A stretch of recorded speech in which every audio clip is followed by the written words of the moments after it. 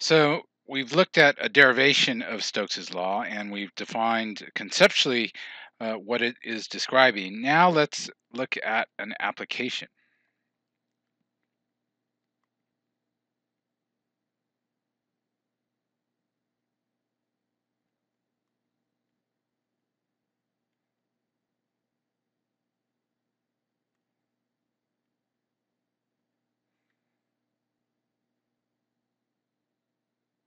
And this is the application is to Ampere's law, uh, and um, one of Maxwell's equations. And this is given on page 813 of Greenberg. So Ampere's law, we're going to start with Ampere's law and we're going to show how from Ampere's law we can get to one of Maxwell's equations. So that's the goal here. So starting with Ampere's law, that states that if we integrate a magnetic field intensity H around a closed curve, that's equal to I which happens to be the net current passing through the closed curve. So H is the magnetic field intensity.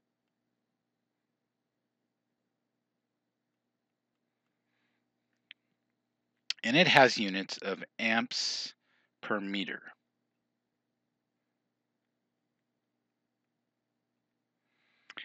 And um, I is the uh, net current, electrical current passing, I guess, through or across the surface of the closed curve. I guess so. It's passing through the uh, closed curve C. Okay, so this states that the integral of the magnetic field intensity around a closed curve is equal to the net current passing through the closed curve. So we can visualize um, our closed curve C. Again, it could be, well, actually, maybe it's not in the plane of uh, the computer screen here because I'm going to draw uh, our current passing through this closed curve.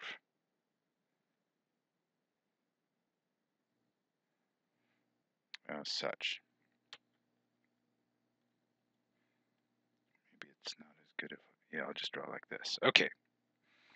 Um,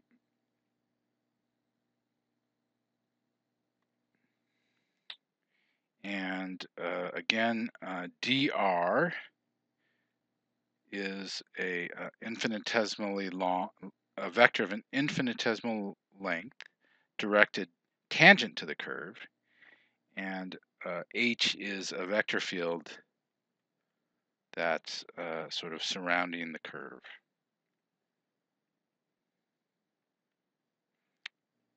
wherever it, whatever it may be. All right. So let's look at the current passing through the curve. So the current passing through the curve is if we were to integrate over the surface, so um, our curve encloses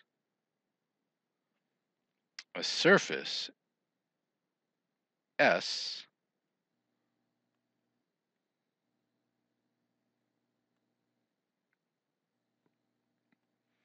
So the total current passing through the curve is equal to the integral over the surface n hat of n hat dotted with sigma times v dA. And so n hat is uh, the unit normal to the surface S at every point. Sigma is the uh, charge density, electrical charge density.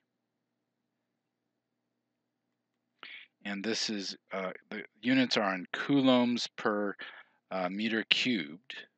So it's the number of electrical charges per volume. And uh, V is the uh, charge velocity. And it's measured in coulombs, or sorry, meters per second, distance per time.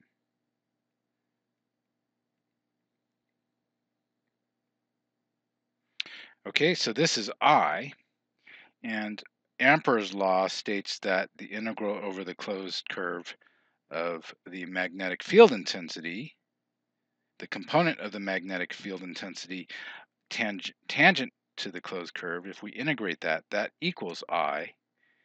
And so we can write, just copy the right-hand side down as we've drawn it above, or we've written it above.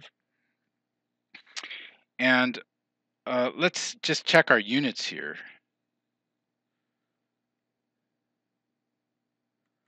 So the left-hand side, again, the magnetic field intensity are in amps per meter times meters. So the left-hand side is in units of amps, and the right-hand side is in units of coulombs per uh, meter cubed times meters per second, which is the velocity, times an area, which is meters cubed, sorry, meters squared. So, so we have a coulomb per second, and indeed a coulomb per second is equal to an amp. So our units uh, check out. Just because we're, I, I, wanted to make sure we're right on the units because uh, unless you work with electricity and magnetism, um, these might not come uh, natural or these units may be a little bit uh, uh, unfamiliar to you. Okay, so let's rewrite that equation at the top of a new page so we have room. So here again, we have um, an integral equation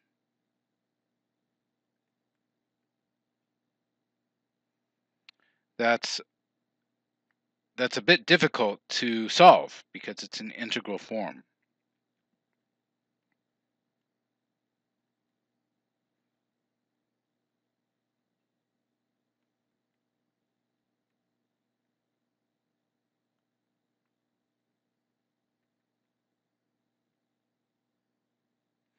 So the way we would get rid of the integral would be to uh, put in, so there are two different integrals. One's over a surface area and one's over the edge of that surface area. It would be better if, so if we could write both of these, uh, the left-hand side as an integral over a surface area, we could write the whole equation in one integral and uh, eventually get rid of that integral. So using Stokes using Stokes's theorem,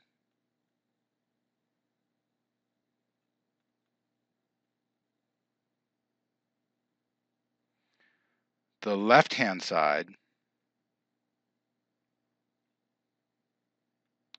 is replaced by a surface integral.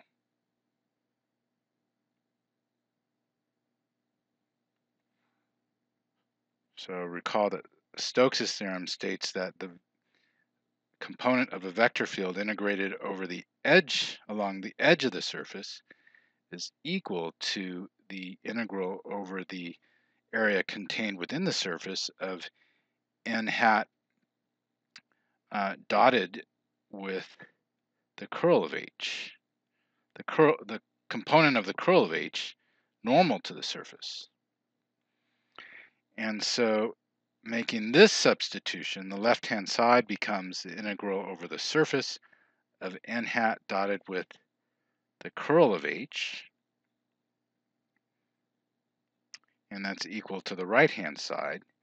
And these are both identical integrals.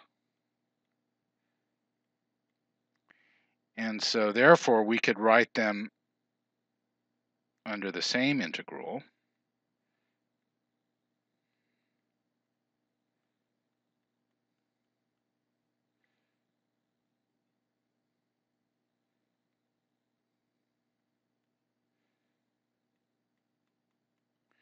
And um, and the equation becomes a single integral. And again, because S is arbitrary, it is um, it is of arbitrary shape and size. So in order for um, this integral to be zero when s is of arbitrary shape and size must mean that uh, no matter you know how large s is or whatever shape it is, this is always true.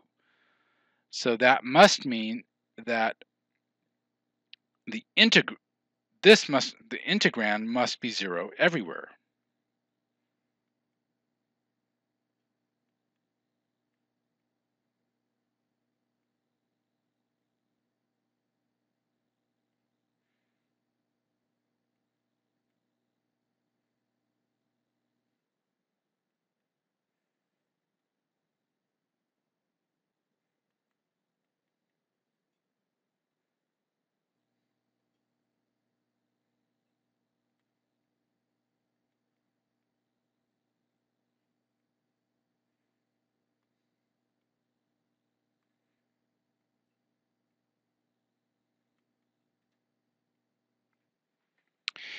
And therefore, we have uh, the curl of H is equal to sigma times V. And we can replace sigma times V, the charge density times the velocity, by the current density, J.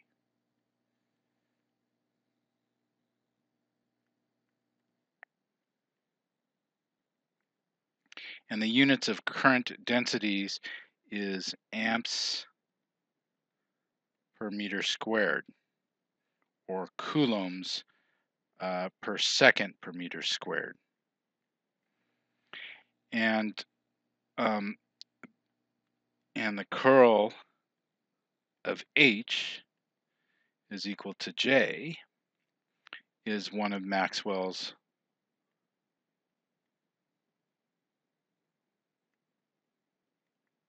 equations. One of Maxwell's equations of electricity and magnetism.